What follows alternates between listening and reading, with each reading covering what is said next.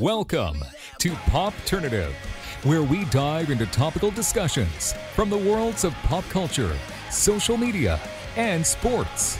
Here is your host, Peter Remoliotis, aka PD Beats. Gentlemen, welcome to Popternative. Thank you so much for your time. Yeah, of course. Happy to be here. Yeah, thanks the villains poster in the background. Man, I love that movie. When you're talking about oh, significant other. This is a question for both of you. Dan, we'll start with you, and Robert, you can kind of uh, add on afterwards. There's a lot that goes into putting together a film. There's the preliminary talks, then you get the final product. There's a lot that happens. What are those early kind of conversations when you're kind of starting the scripts a little bit with significant other that you're having together? I'm curious about that. Yeah, sure. Um, yeah, I mean, this movie the, from the conception stage started kind of from a place of, um, say, like logistical necessity. You know, it was in the middle of the lockdown in 2020, and uh, we weren't really sure what the future of the film industry held, or the future of anything for that matter. And uh, you know, we basically just said to ourselves, can we conceive like the ultimate COVID-friendly movie? You know, 100% outdoors, two actors, and so that's kind of like where the the kernel started and we just built the narrative from there. And we had worked with Maika on Villains and loved that experience and become had become close friends with her since then. And so we, the other thing we knew, I mean, we hadn't told her this yet, but we, we knew we were writing the role for her. And thankfully, when we finished the script, she liked it and wanted to do it. but we knew we wanted, we knew we like, you know, had the outdoors, the two actors, and Maika Monroe as our lead. So that we were just like, all right, let's start there and see where the story goes. Absolutely. Robert, do you want to add to that a little bit or?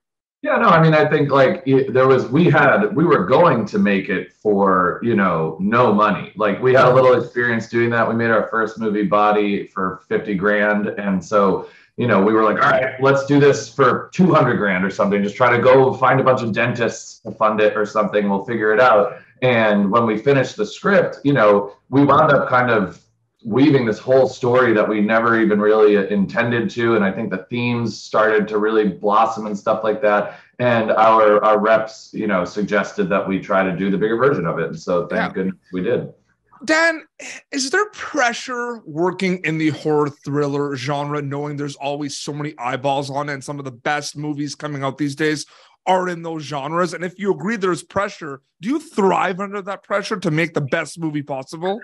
Uh, yeah, certainly. I mean, listen, the, the, like the genre debate, especially when you wade into these waters of like being horror adjacent, um, it's a challenging thing because like we don't talk about significant other like it's a horror, you know, like we say it's a sci-fi thriller, but because there's little moments of some a couple scares and yeah. certainly moments of, of omin, ominous tension and whatnot you know, it it is everyone just pushes it into that horror box, and then you're up against something like Smile, where it's like, well, that's a scarier movie.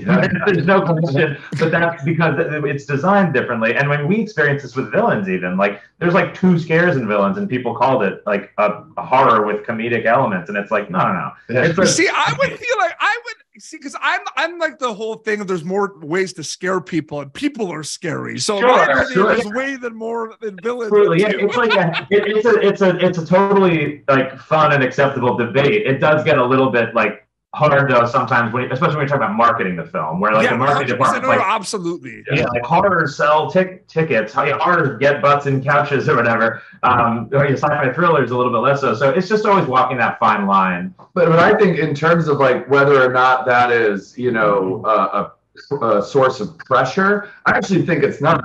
It would be because there's a built-in audience for if you know you're making a genre movie, whether it's a thriller or a horror or whatever there is way more of a built-in audience for that where you know people are and and i think the the kinds of audiences are a little bit more like forgiving. I would be way more scared to go out there and make like a straight drama and just because like what happens if you make like the shitty version of still alice? Like nobody's gonna see it. You know what i mean? Whereas like you can make a horror movie that isn't that great and people are still gonna see it and have fun like as long as it's a little fun exactly oh exactly. absolutely I, I can't wait for people to see significant other dropping exclusively on paramount plus october 7th because it's amazing we kept this spoiler free i just want people yeah. to see it gentlemen dan robert thank you so much for your time it was so great chatting with you thank you Petey.